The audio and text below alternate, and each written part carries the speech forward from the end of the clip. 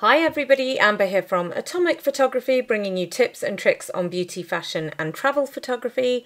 In this week's video, I'm bringing you a Lightroom and Photoshop tutorial where I show you how to create a whimsical feel, light, bright, airy feel to your images. This can be for portraits or for beauty imagery, and let's get into the video.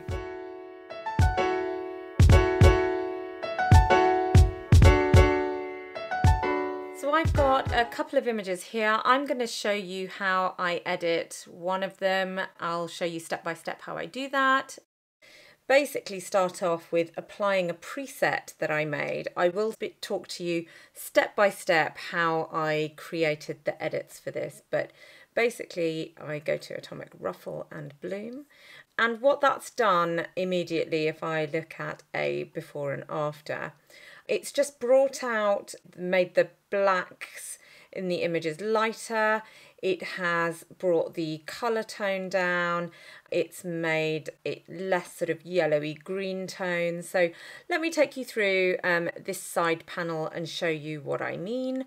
So I've brought down, you can see I've brought down the temperature to be cooler. I have brought down, I've made the tints uh, more sort of greenish. I have increased the exposure. So you could even go a bit higher, but I quite like it at about 10, 15. I've increased the contrast slightly. I have definitely brought those shadows higher so that she's not so, um, it just helps isolate her a little bit better from her background. I have decreased the highlights so it was very very bright here and I've increased some of the black. So if it if it is too dark I've lightened the blacks again. So a lot of what I've done here is to raise where you can see all that detail has gone in that hair it's to raise that detail back out again. I increase the clarity so that it's not as soft an image. And I've brought some of the colouring down. So normally I'm going for highly saturated images. This time I've actually brought that vibrance and the colour down. So I throw down a bit of an S, uh, well not even an S curve, it's more like a J curve. And it's again bringing out the details in the blacks and lightening that black area a little bit. On the colour side, I have played around with the saturation a little bit, but I wanted sort of the greens in the background are quite vibrant on the original. I wanted to bring those down a little bit and subdue them, but I wanted the pinks to really be quite pink. So I've brought the red up a little bit here that's almost all I've done apart from some sharpening as well. So you can see the before and after. It's a sharper image, it's a cooler image, and it's slightly subdued, but I've still retained how pink some of those pinks are. I'm going to bring that into Photoshop now. So edit in Photoshop, um, edit with your Lightroom adjustments, and we'll jump into Photoshop in a second. So in Photoshop, I always take a copy of my layer, so I have the original, and the first thing that I normally do is to liquefy um, the features of the model, but actually I'm not going to do anything to her features or or to the perspective, the lens I used has not caused much distortion. So I'm going to go straight into retouching her skin. So we've got the clone tool, we've got it at about, no paste here, 45, and I'm going to make the size a little bit bigger um, for the area we're working on. And then I'm just going to take away some of her tiny, tiny, not even there imperfections.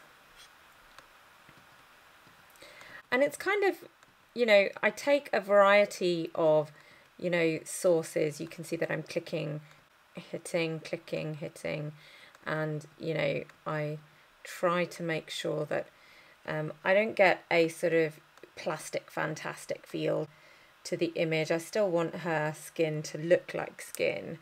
And I kind of go through and like I said, I'll take a sample from around the area just so that I don't pick up too much of a dark spot or a too much of a light spot and cause patchy skin. This is just a matter of practice. There's no magic formula that I can really tell you about this apart from showing you how I do it. But really this comes down to a lot of practice and patience, um, looking at your before and afters. I'll always go back. It's so easy to get caught up in an image and think, yeah, I've done great here. And then you kind of go before and after and you go, oh, I went too far. But actually this one I'm quite happy with. I'm just going to zoom out a little bit. And in The Lord of the Rings, Cate Blanchett had really beautiful catchlights in her eyes. And when I saw the behind the scenes of the movie, they said that they had lots and lots of fairy lights on a board behind the camera, which just brought out the catchlights in her eyes. I can see that there are some catchlights here. I went into the highlight tool and I've done it in the midtones, but now I'm going to do it in the highlights and this is where really it makes eye catch lights pop.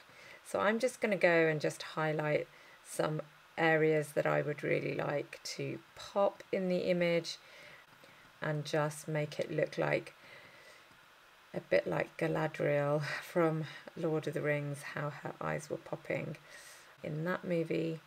And I just kind of want to naturally just catch. That looks a bit hard.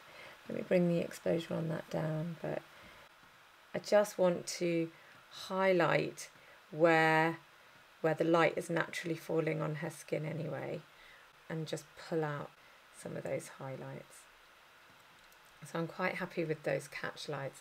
Now, the other thing that I would like to do is in real life, the model Liv, her eyes are super, super light green.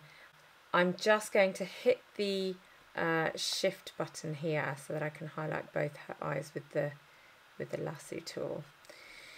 Now I'm going to go into layer.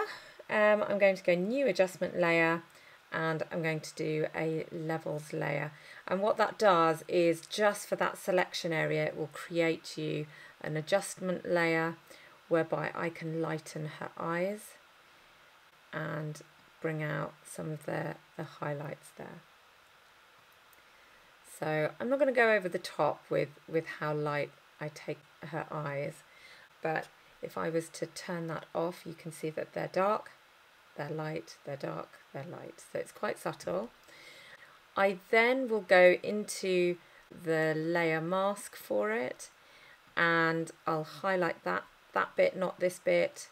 Um, so I then go into filter, I go into blur, I go into Gaussian blur, and that will just mean that there aren't harsh edges on that layer that I've just created.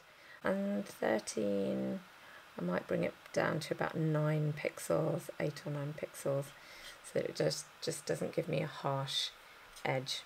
So if I take turn that off, on, off, on, you can see that there's a, a subtle difference there. So come back down again, and I think I'm just going to do a little bit more dodging, but do it not so close up to her face. Just come and highlight her cheekbones a little bit more. But I don't want her to look like she was in a studio. She was out in a garden, so it's not going to be very harsh. That's probably about it for me. What I'm going to do now is I'm going to take this image back into Lightroom and we are going to edit further using another set of presets to give the whimsical feel. And I come to my edit. So you can see a bit of a before and after. That was the before, this is the after. And I could just leave it there, but I'm going to use a couple of presets. Now, the presets that I use, I love pretty presets. I'll put the links down below and they have a really nice luminous collection, which is a set of different sort of light effects.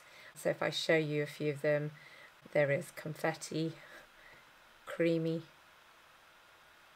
rainbow, etc. So you get what I mean. And the one that I'm going to probably go to is Ball Mist. I like that one. So that then creates a really lovely whimsical feel. It's basically a set of radial sort of gradients um, that they've created here and light effects. Now this one looks quite harsh, it's kind of coming out of nowhere. What I might do is basically edit that so I would feather that more so that it wasn't so harsh and I'd probably bring this exposure down a little bit so you can change all the elements of presets even when you've applied them and just have a bit of a play around to see which ones you like. I'm going to go around and feather some of these a little bit more so that they're not looking like blobs of light and colour. Um, I might bring this a little bit brighter though and so you can highlight each of these you can change the color on them. You could make it a little bit more transparent if you didn't want it as blue. So I'm going to just feather that out a bit more again. I'm probably going to bring that colour down a little bit. And we'll come out of that tool. Now I want this image to be quite a bit cooler and probably a little bit lighter just to really bring some of that whimsy into that image. I'm probably going to bring the contrast down a little bit as well, just make it that bit more fairy tale. And there you have it for my edit of a whimsical image. That's the before, that's the after, and you can just see how a few simple edits in Lightroom and Photoshop can create a really pretty, whimsical, ethereal feel.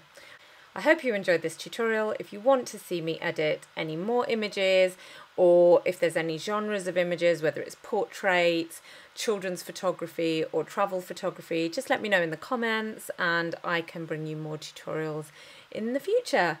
Take care everybody and see you next time.